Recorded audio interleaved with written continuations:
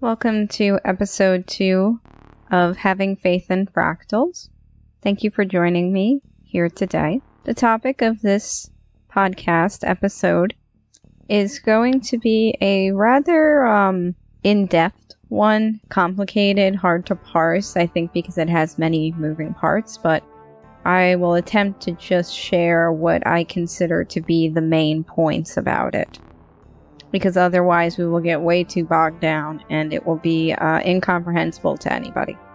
The topic I'm alluding to is why we, on a social level, so a large scale, not only individually, have this deep and sometimes almost irrational fear of being controlled or hurt by people or groups that we don't know, we can't see, we can't understand.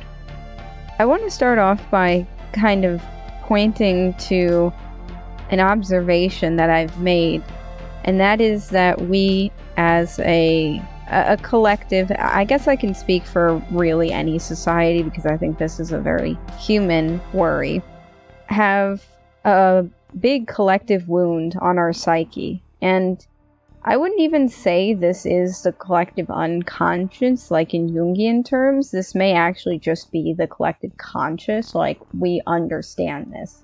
But some people channel this into directions that most people either wouldn't be able to pinpoint if you ask them. Maybe they're just like, I'm just afraid of, say, some people may use the phrase uh, government control takeover. Um, you know, they have a fear of like a coup happening, or there's this big fear that somebody is going to, you know, come into their house, or that they're not safe where they are. Maybe someone's listening.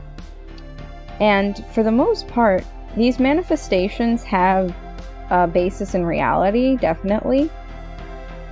But how we're channeling them in this way is subject to be a little bit more uh, different strokes for different folks. So, some people actually kind of make it their whole philosophy not to participate in any form of, I guess you could say, power. They, they remove themselves from power structures almost completely. And this can either be done in a very individualistic sense, or this can be done on a more say tribal level. So what I mean here is is some people cope with this fear if they have it, and I know a lot of people do. Is sometimes they become very hyper independent because they don't want to be caught up in the web. And this web is it's numerous, but if we're talking about on a social level, say these are the types of people who are always afraid that they'll slip. You know, they're always afraid that they'll fall off the treadmill and they won't be able to get back up, or something's coming to take, you know, their uh, their wealth away. Maybe they will. They're always afraid that they're going to be replaced, or something like that. They're always afraid that someone else is pulling their strings and they have no real control over either their workplace, let's say, maybe their home life, their security, etc. we see a lot of insecurity here, and, and I'm not trying to, you know, kind of stick pins in these people because it is a real fear. It's a real concern that we are having to fight against.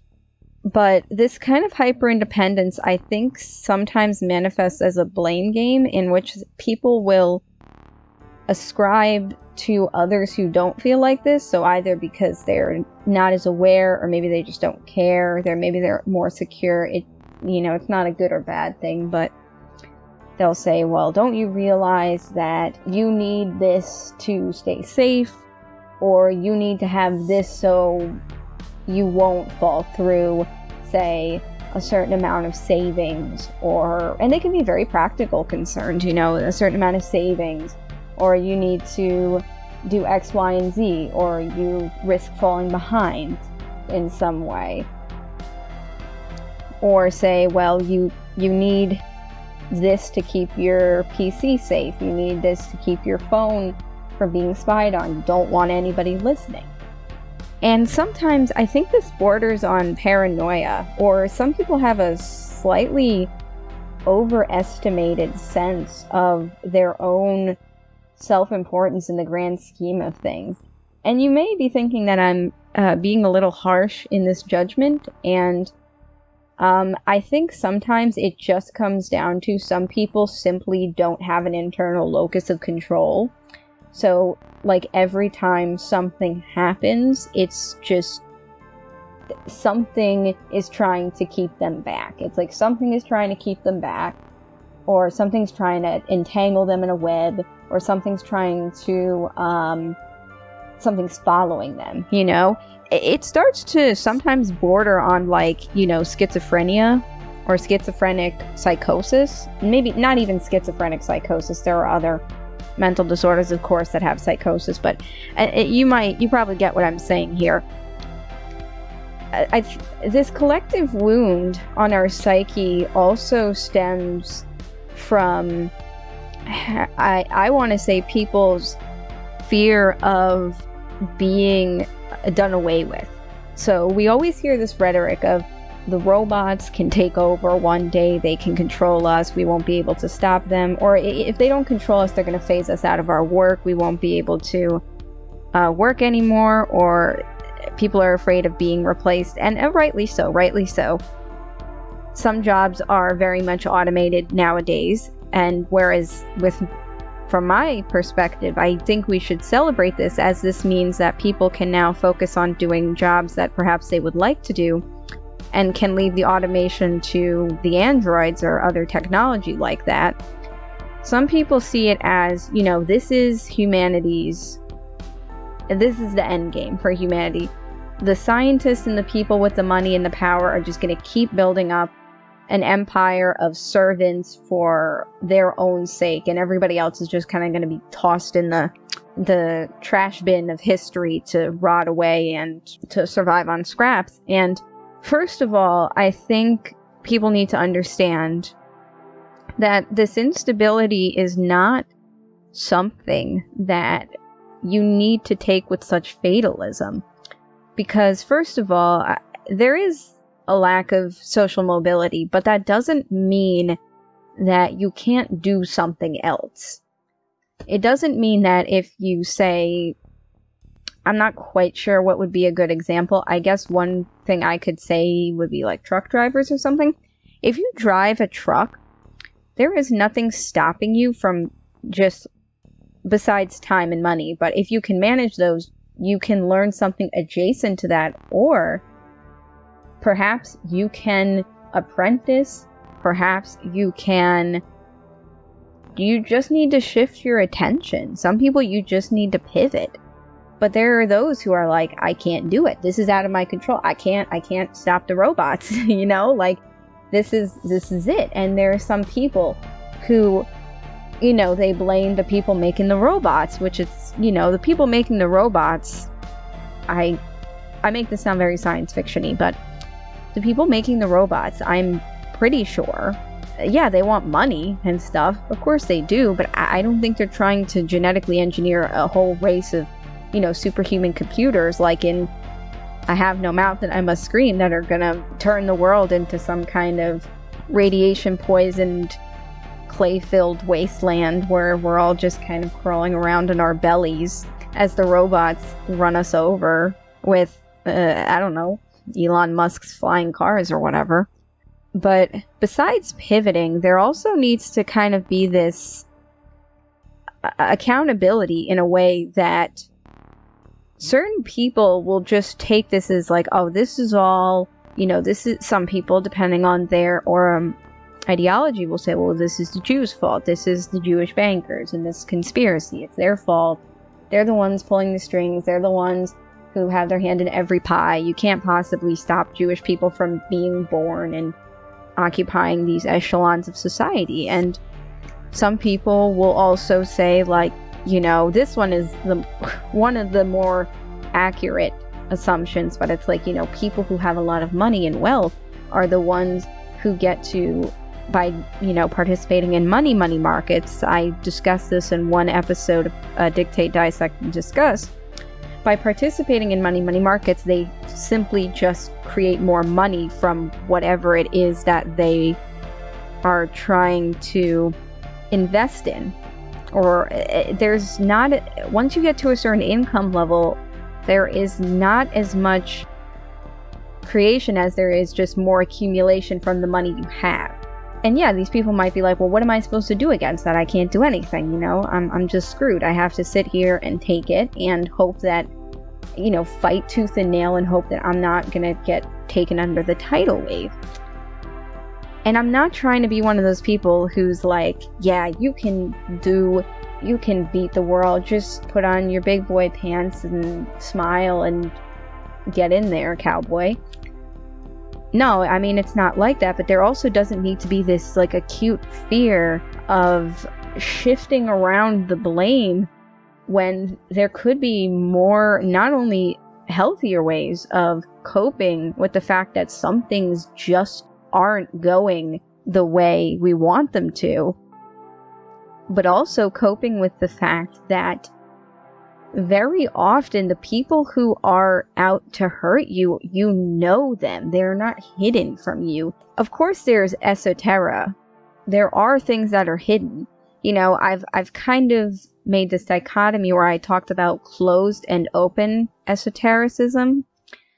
Where uh, closed esotericism is they don't far removed from you, they're occult, they're hidden, and they don't want you to know what's going on. But there are also people who are kind of open esoterica, whereas they're not very not you can't really understand them at first, and they they do appear to be more hidden. But these are also things that have either been brought to the light by people who are not in the esoteric practice. So think of people who do like whistleblowing, investigative journalism. Or these are things that we are now discovering somehow and we are bringing them towards the light. These are things that want to be discovered. And sometimes, simply put, you don't need to be afraid of things you can't see or make up things that you need to be afraid of. Your things are there.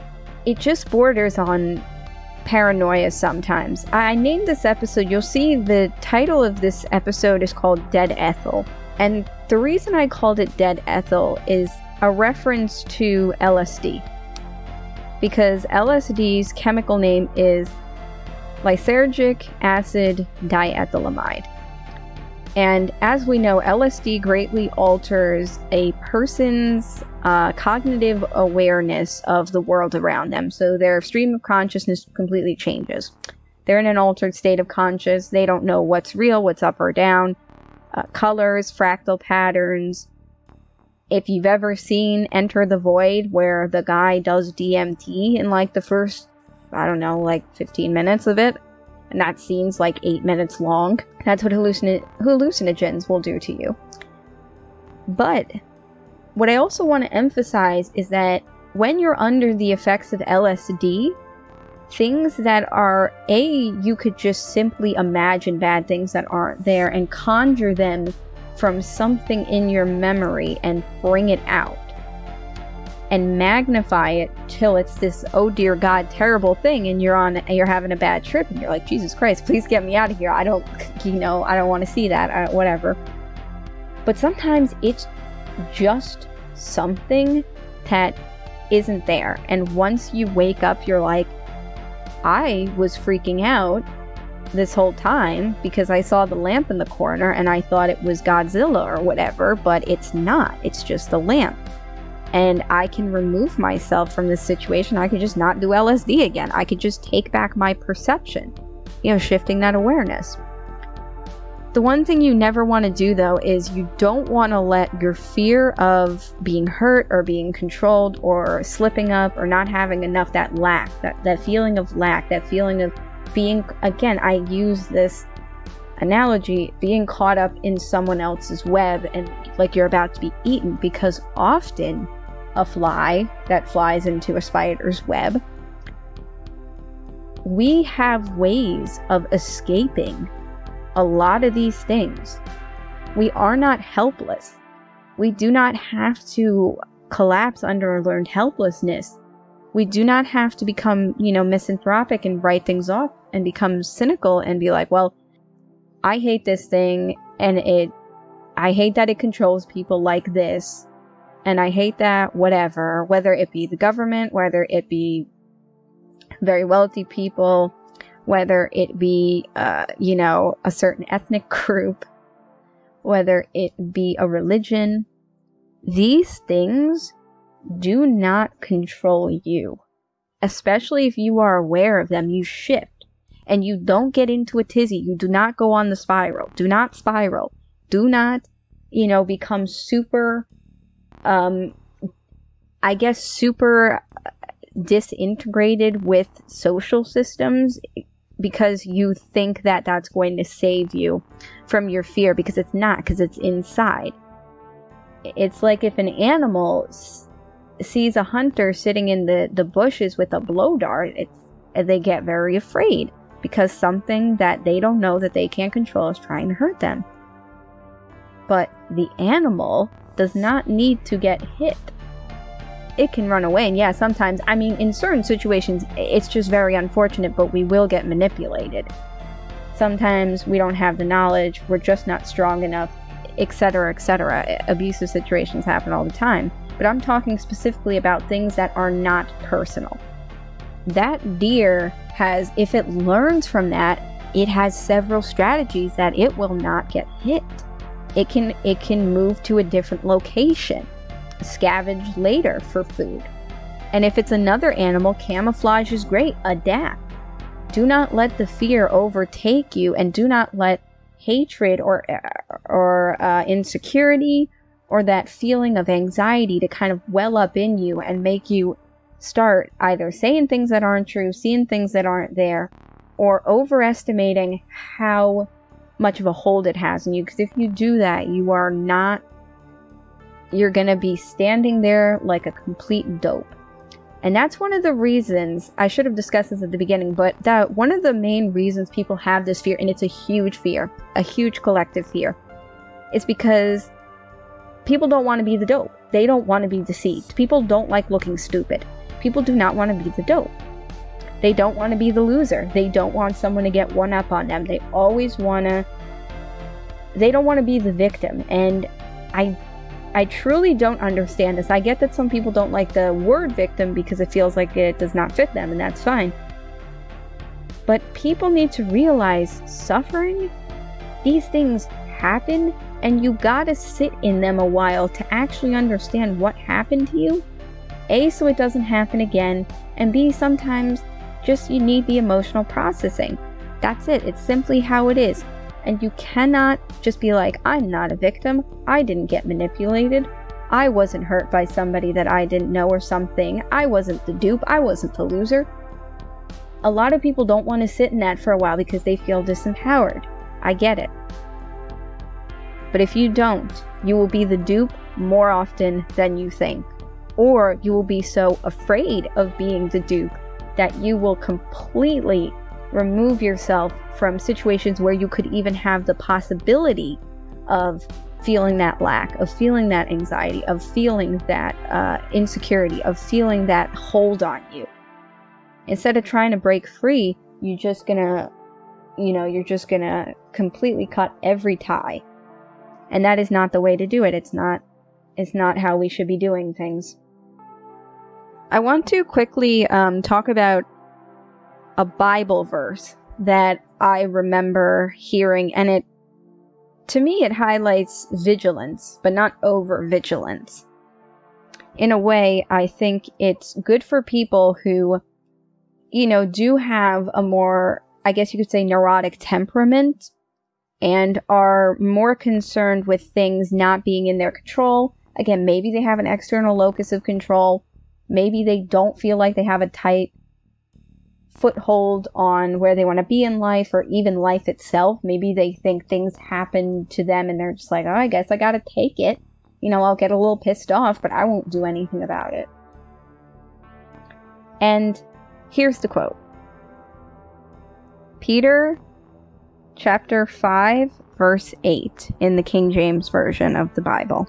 Be sober, be vigilant, because your adversary the devil, as a roaring lion, walketh about, seeing whom he may devour. at face value, you might be saying, well, Fina, this seems to be another thing where it's just like, you know, a human cannot, you know, get away from a lion. The lion is very powerful. We're, you know, just flesh tubes. How the hell am I supposed to slay the lion and live to tell the tale? I should be afraid of the lion. And you know what? I would say, yeah, you should. But in the same way, think about this humans have adapted their sleep patterns to not go out and forage or hunt, gather, interact with the outside world during the night. If the lion is hunting at night, if the lion is hunting in a certain place, don't be there. Acknowledge it, say, I'm going to outsmart the lion. Don't be there. Sleep at night. Don't go out there. If the lion is asleep at night, maybe that's the time to go out. Think about it. Think about what's happening, how you can subvert it, how you can go around it. Whether this is something you want to do by yourself, whether this is something you want to encourage other people to do with you. Do not be paralyzed by the lion. David slew Goliath. The point is, don't believe in everything you see. If you know something is a threat, like again, if you know something is X, Y, and Z, uh, let's say that you are afraid that you're going to be fired. Boss in that case has an undue amount of control over you. Think about this. Have you done anything to warrant this? If you have not, Keep doing what you're doing. Keep doing excellent work. Doing what's expected of you. If you get fired anyway, you cannot deal with that. That was something that's on your boss, but you can have a backup. If you think you're on shaky ground, try and get another get another job. Talk to them, say whatever, you know, have one on the sly. Don't don't feel like you have no control and that you're just waiting for your boss who is a jerk to get rid of you. You don't have to you don't have to fall down. You don't have to feel like I'm always going to fall. I'm always on shaky ground. You don't have to, you know, say, "Well, I never want to be taken advantage of. I don't want to be in a situation where I can't have full control over everything. So I'm just to completely disregard uh, situations where I don't 100% know every single thing about it. Not the way to go. You will rob yourself of many, many chances. LSD was the major drug of choice for people back in the day who were like artists, writers. What they didn't understand that when they were tripping is everything there is just a product of their random neural activity. If they realized anything or had a breakthrough because of that, it wasn't because, you know, something insidious had kept it from them, or if they had a bad trip, it was just evil that they encountered or whatever that they didn't know about. It was hidden inside their brain and it's all scary and whatever. It's it was simply that they just were in situations where they got manipulated and they were like, well, I didn't expect to see that. That's scary. That shouldn't happen. So, what I'm saying is this Dead Ethyl does not have to be your nightmare. If you're worried about big government putting toxins in the water to turn the frogs gay, I know that's a really stupid example. But if you have any fear that something more powerful than you is gonna get the upper hand on you and is come at you right beneath your nose, you won't even expect it, don't. Be smarter, outsmart things, outsmart systems, and be mindful, be aware, and take the outs that you can. Build what you can, grow. Sometimes it's not about just tearing things down. Sometimes it's about growing things from the garbage. But don't be afraid, because most times these are things, these uh, aphorisms are just motivated by people who are very fearful and very anxious about the future that they don't understand, and that they can't do anything about in their mind. But they're in a mind prison. Don't be in a mind prison. There is no LSD without your finger on the LSD tablet, putting it in your mouth, or dropping some drops into your eye. You have a lot of control over your life. You make some choices.